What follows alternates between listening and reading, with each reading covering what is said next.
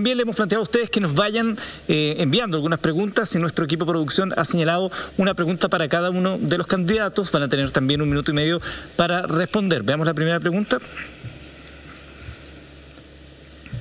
Dice así, Karina Oliva explicará por, explicará por qué apoya públicamente a la anti-influencer Naya Fácil, siendo que promueve la prostitución, drogas y alcohol entre los jóvenes. La batalla final MB dice Berito.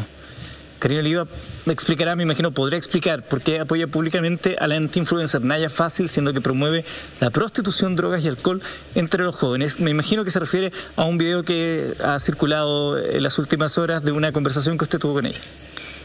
Sí, primero creo que es importante cómo se usan los verbos. Una cosa es promover y otra es dialogar. Y aquí la construcción de la sociedad, de la región metropolitana, de la ciudad, se dialoga con todas, con todo y con todes. Con aquellos que incluso han sido callados, silenciados, invisibilizados. Aquí hay sectores de la comunidad de la región metropolitana, por sus orígenes, por su experiencia, por su vida, no se les escucha. Y creo que lo que a nosotras nos promueve, o lo que a mí me promueve, es saber qué está pasando en distintos lugares. No estar diciendo qué es lo que hay que hacer, ni quién es bueno, ni quién es malo, ni quién es más digno, ni quién es menos digno.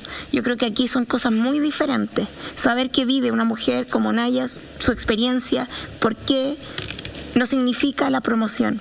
Saber lo que ocurre en Chile con niñas y niños adolescentes es importante. También saber que lleva a las personas a tomar distintas opciones, decisiones. Yo creo que nadie promueve ni el alcohol, ni incluso ni la prostitución, pero eso no significa que una persona sea una persona más digna o menos digna. Yo creo que hay que ser eh, inclusivo, democrático, y creo que esos son los valores que a mí me promueven.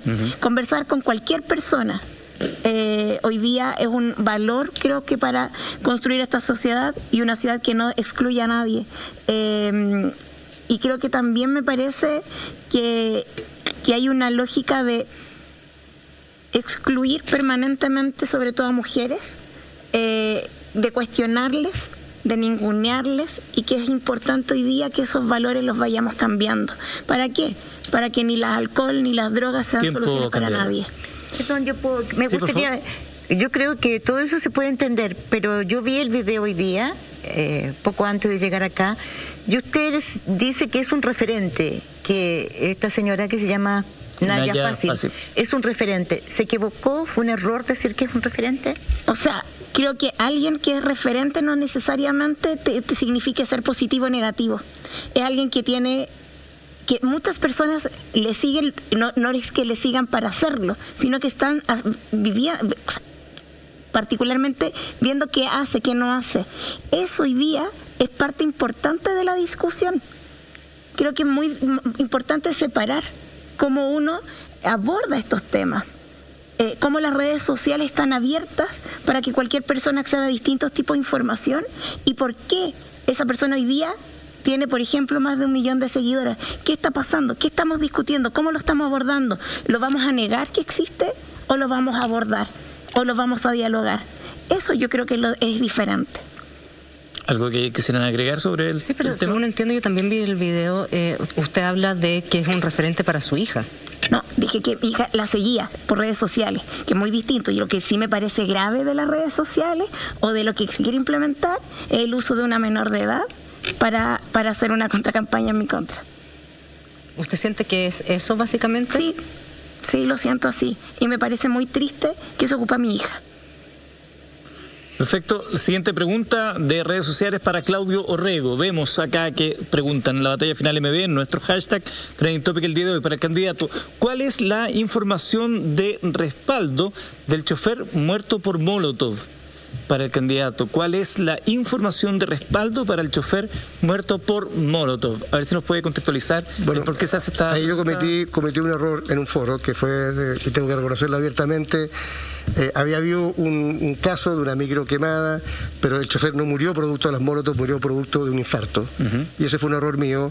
Eh, habían otra serie de personas detenidas por otros delitos, pero ese fue un error que tengo que reconocer públicamente, que mezclé dos informaciones que eran distintas, pero, pero no verdaderas. Perfecto. ¿Algo que quieran agregar? Ok. Lo que le vamos a solicitar a continuación es que le vamos a ofrecer 30 segundos a cada uno de los candidatos para que puedan dar unas palabras finales eh, en este en esta conversación, en este foro, en este debate. Un minuto, después de una hora y media, por lo menos un minuto.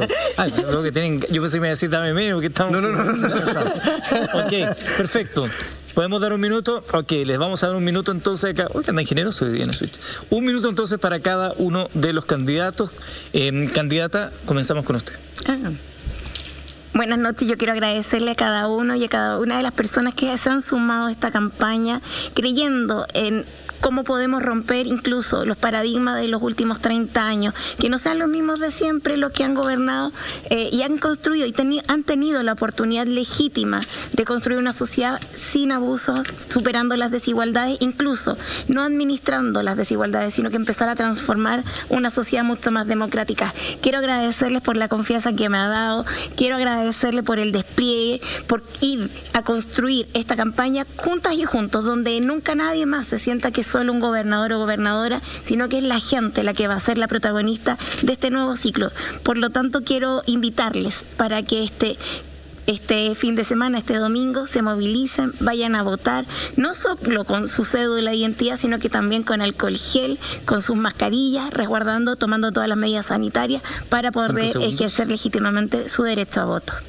Muchas gracias, candidata Karina Oliva, ese minuto para cerrar sus argumentos esta noche. Candidato Claudio Rego, un minuto también desde ahora. Bueno, yo quiero hablarle a todos los habitantes de nuestra región que lo están pasando mal, que, lo están, que están sufriendo el COVID, que tienen miedo de enfermarse, que han perdido a seres queridos, que han perdido el trabajo que tienen miedo también a las balas locas y a la situación descontrolada del narcotráfico en muchas poblaciones. Si ustedes de verdad creen que es importante que alguien lidere a nuestra región para volver a levantarla después de esta pandemia, que va a ser muy difícil. Si ustedes creen que también que tenemos que tener una política de la tolerancia, de la inclusión, sin descalificaciones, hablando con la verdad y siempre cuidando el respeto que nos tenemos uno a otro.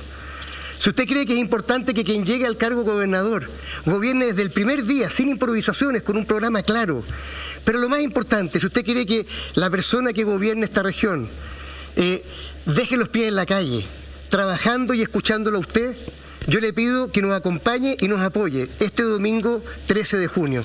Regálele 30 minutos a su región levantándose a votar tiempo, candidato.